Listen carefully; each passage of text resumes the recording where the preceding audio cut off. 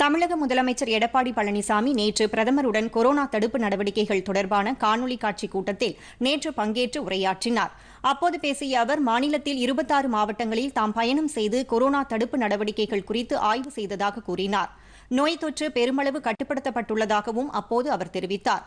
தமிழகத்தில் உள்ள நூற்று எழுபத்தாறு கொரோனா பரிசோதனை ஆய்வகங்கள் மூலம் நாள்தோறும் சராசரியாக எண்பத்தைந்தாயிரம் பரிசோதனைகள் மேற்கொள்ளப்படுவதாக அவர் தெரிவித்தார். இதன் மூலம் நாளொன்றுக்கு ஆறு கோடியே எண்பது லட்சம் ரூபாய் செலவு செய்யப்படுவதாகவும் முதலமைச்சர் குறிப்பிட்டார். இதையடுத்து பரிசோதனைக்காக செய்யப்படும் செலவுகளில் ஐம்பது சதவீத நிதியை பிரதமர் நிவாரண நிதியிலிருந்து அளிக்குமாறு முதலமைச்சர் கேட்டுக் கொண்டார் தமிழகத்தில் தொடர்ந்து முறையான சிகிச்சை அளிக்கப்பட்டு வருவதாக குறிப்பிட்ட முதலமைச்சர் இறப்பு சதவீதம் ஒன்று புள்ளி ஆறு இரண்டு சதவீதமாக குறைந்துள்ளதாகவும் தெரிவித்தார். இதுவரை தொன்னூறு சதவீதத்திற்கும் மேற்பட்ட கொரோனா நோயாளிகள் குணமடைந்துள்ளதாகவும் அவர் கூறினார்.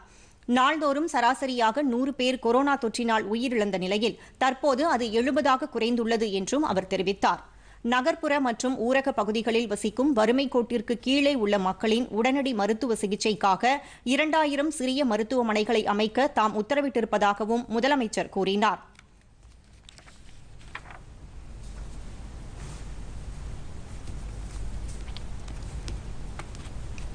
I would like to place the following request.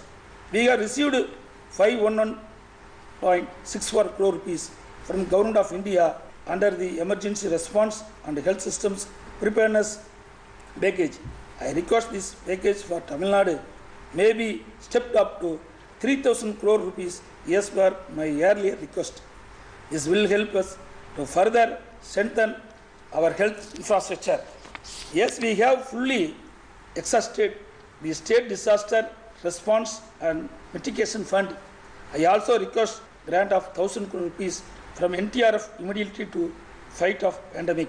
Releasing pending CMR subsidy of 1321 crore rupees at this time will facilitate paddy procurement. இ சஞ்சீவினி திட்டத்தின் மூலம் நாட்டிலேயே தமிழகத்தில் அதிகபட்சமாக இதுவரை ஒரு லட்சத்து இருபத்தாறாயிரத்து ஐநூற்று இருபத்தைந்து பேர் ஆலோசனை பெற்றுள்ளதாக தெரிவித்தார் கொரோனா சிகிச்சைக்கான உபகரணங்கள் மற்றும் மருந்துகளை உற்பத்தி செய்வதற்கு சிறப்பு திட்டங்கள் தமிழக அரசால் அறிவிக்கப்பட்டுள்ளதாக தெரிவித்த அவர் தற்போது ஐம்பது நிறுவனங்கள் அதற்கான உற்பத்தியை தொடங்கியுள்ளதாகவும் கூறினார்.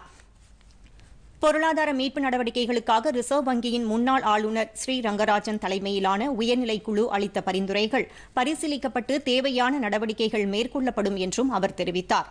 தமிழக சுகாதார கட்டமைப்பை வலுப்படுத்த மூன்றாயிரம் கோடி ரூபாய் அளிக்குமாறும் முதலமைச்சர் பிரதமரிடம் கேட்டுக் கொண்டார் மேலும் தேசிய பேரிடர் மேலாண்மை நிதியிலிருந்து கொரோனா தடுப்பு நடவடிக்கைகளுக்காக ஆயிரம் கோடி ரூபாய் வழங்குமாறும் முதலமைச்சர் எடப்பாடி பழனிசாமி கேட்டுக் கொண்டார் a bill to provide 7.5% internal reservation to the UG medical courses for the NEET qualified students. Who have studied in state government schools from this academic year based on the recommendations of the commission headed by a retired judge of the High Court. Now the bill has been sent for the assent of the Honorable Governor of Tamil Nadu. This is expected to bring equity and social justice to students who are mostly poor.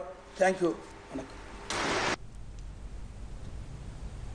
Pothigai செய்திகளை யூடியூபில் Tamil news Doordarshan என்ற சேனலிலும் முகநூலில் DD Pothigai news என்ற பக்கத்திலும் ட்விட்டரில் DD news Chennai என்ற பக்கத்திலும் இன்ஸ்டாகிராமில் டிடி பொதிகை நியூஸ் என்ற பக்கத்திலும் காணலாம். மேலும் உங்கள் கருத்துக்களை Pothigai DD news at Gmail dot com என்ற மின் அஞ்சலில் தெரிவிக்கலாம்.